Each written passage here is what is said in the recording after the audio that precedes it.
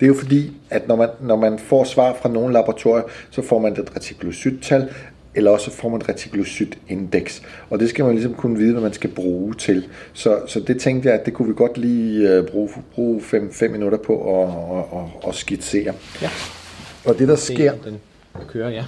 det er jo, at man egentlig, når man skal lave har et retikulocytindeks, så skal man beregne det. Og det gøres ud fra hundens hematokrit og ud fra en modningsfaktor. Det er de to ting, som man skal korrigere for, når man får sin retikulocytprocent. Det har noget at gøre med, hvor hurtigt og hvor kraftigt det her det foregår i forhold til hematokritten, og det har noget at gøre med tiden, der er gået, hvor lav, og hvor lav hematokritten er. Så hvis man ligesom skal komme med et eksempel, så kan vi sige, at vi har en, øh, vi har en hund, som har en hematokrit på 15 procent. Og vi har fået at vide, at den har et retikulocyt procent, som ligger på 12 procent. Så gør man det, at man laver en korrigeret øh, retikulocyt øh, procent først. Og det vil sige, at man korrigerer først for den pågældende øh, hematokrit. Og det gør man ud fra, hvad er den normale hematokrit. Og sådan noget her, det bliver altid standardiseret. Og det, der ligger i det, det er, at en normal hematokrit på en hund, den er altid 45. Sådan er det, når man laver det der. Så det vil sige, så bliver man nødt til at sige, at vi har 12 procent på, retikker, øh, på, på, i retikulocytprocent, og så skal vi korrigere ved at sige 0,15 procent, som jo var, eller øh, 15 procent, som var hem, øh, hundens hematokrit, øh, i forhold til standard.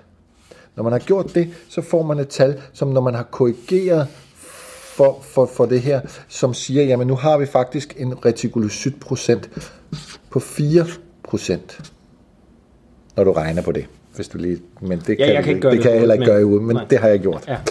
Uh, jeg har ikke gjort det hovedet, også gjort. Men fint. Uh, det der så er, det er, at det, oh, det var det, jeg ikke måtte gøre. Ja, det er fint. Uh, retikulocytindekset tager man så ved at sige, jamen man har nogle modningstider i forhold til det her maturation factor, som man har, som man har beregnet. Og hvis man har en hematokrit på 0,45, så er modningsfaktoren, kan man sige, den kommer man ud fra, den er 1. Ja, ikke? Har man en hematokrit, som er 0,35, jeg ved godt, det her det er lidt langhåret, men, men det er faktisk ret vigtigt for at forstå den der. Så er det 1,5. Har man en hematokrit, som er 0,25, så har man en modningsfaktor, som hedder 2, som man skal korrigere med. Og har man hematokrit på øh, 0,15, så har man modningsfaktor, som er 2,5. Og så er det klart, så ligger der noget derinde imellem, som man så lige sådan schusser på og rammer på, hvis man regner det ud. Men det er nogle faktorer, som er givet. Det, det er givet. Det her det er en standard. Det her det er simpelthen, sådan er det. Ja. Og sådan er det. Og man behøver ikke at tænke mere over det der, fordi så bliver det bare langhåret for en. Det er der ingen grund til. Ja. Så det, der så sker, det er, at denne her 4%, øh, hvad hedder det, øhm, øh, korrigeret retikulocytprocent, den korrigeres for ved at sige 1 delt med 2,5, og så har du sådan set, når du beregner den, det bliver så en retikulocytprocent, eller retikulocytindeks på 1,6. Og det siger der jo ikke en skid, hvis du ikke ved, hvad der er normalt, og hvad der er unormalt. Men det, der er tilfældet, det er, at hvis man ligesom skal sige, at den her RPI, som man også kan kalde den, Reticulocyte øh, Production Index, den, hvis den er under 1, så er den non-regenerativ.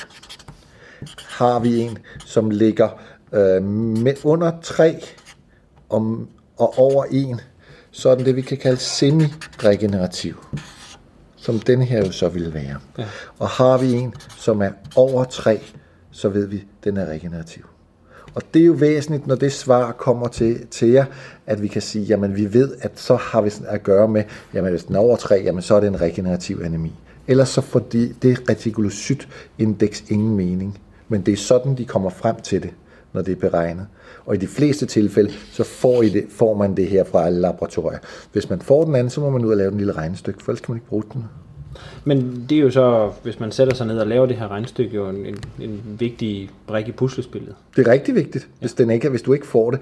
Derfor er det rigtig, rigtig skønt at sende til et laboratorium, der giver retikulocyttallet, eller have en maskine, der kan gøre det selv, eller øh, hvis det er et andet laboratorium, der giver dig indekset, så længe du ved, at det her, det er det, der er standarden for retikulocytindekset for at være regenerativt, eller non-regenerativt, eller semi-regenerativt. Ja. Men spændende case, synd for hunden. Synd for hunden, Ja. det er det, men den, øh, den, sådan det. Jeg flytter lige det her kamera ud Ja. af billedet.